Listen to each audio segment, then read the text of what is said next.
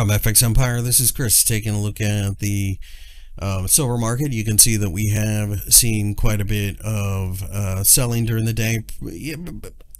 Maybe I should say quietly negative. It looks like we're going to drift down to the $18 level, which is an area that has been support more than once.